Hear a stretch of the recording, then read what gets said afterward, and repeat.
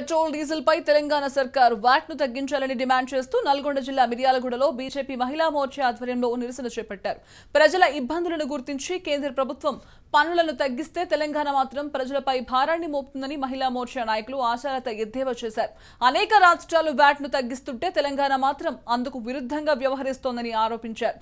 ఇప్పటికైనా తెలంగాణ సర్కార్ మేల్కొని వాట్ తగ్గించాలని ఆశాలత డిమాండ్ చేశారు.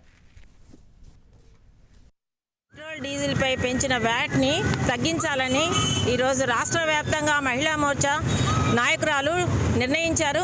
వారు నిర్ణయించిన విధంగా తెలంగాణ రాష్ట్రంలో వివిధ ప్రాంతాల్లో పెట్రోల్ డీజిల్ రే వ్యాట్ని తగ్గించాలని ప్రజలకు సానుకూలతగా వాళ్ళకు కొంచెం ఊరట కలిగించాలని ఎందుకంటే పెరుగున పెట్రోల్ డీజిల్ వల్ల ప్రతి ఒక్కరూ ప్రతి ఒక్క రంగం కూడా పారిశ్రామిక రంగమే కాదు పిల్లలు స్కూల్కి వెళ్ళే వాళ్ళే కాదు ప్రతి ఒక్క సరుకు కూడా వివిధ రకాలైన వస్తువులు వి- వివిధ రకాల వస్తువుల కోసం అని చెప్పి రేట్లు పెరిగాయి.